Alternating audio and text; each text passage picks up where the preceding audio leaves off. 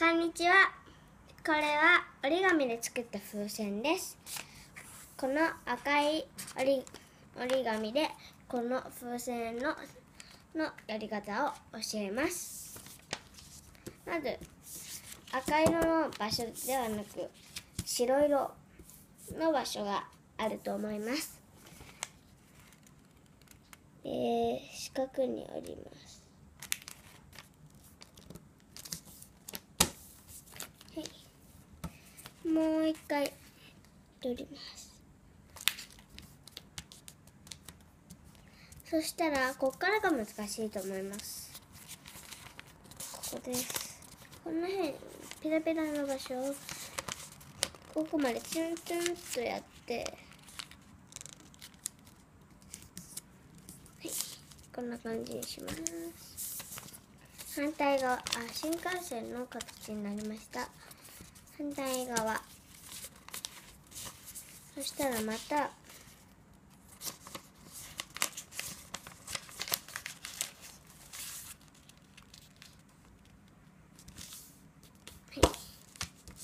こんな感じで、両方とも家の屋根みたいな感じになりました。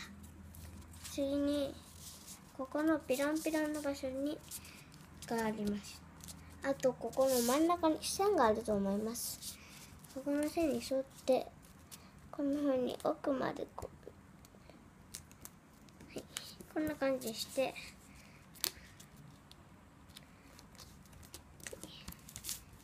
一枚で OK です。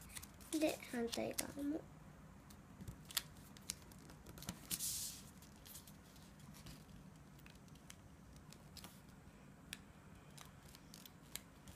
はい、次にですねここ1枚2枚とこんな風にあります。そして横からここの線までツンツンを貼ります。はい。またツンツンの場所にキスするようにねします。反対側も。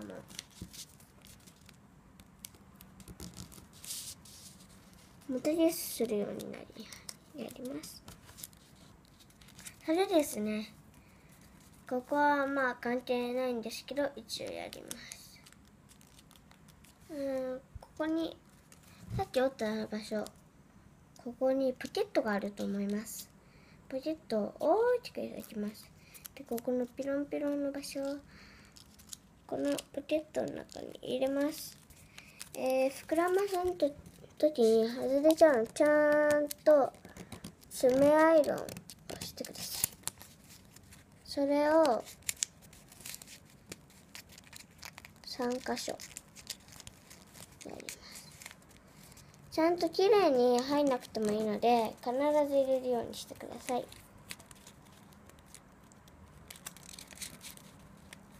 こんな感じです。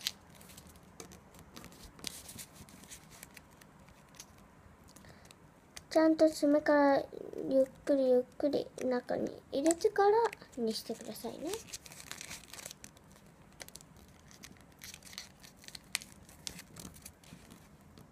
はい。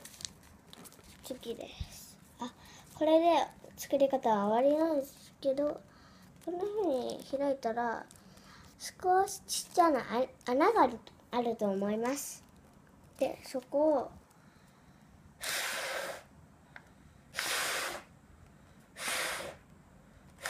息を入れたら、これが完成です。ありがとうございました。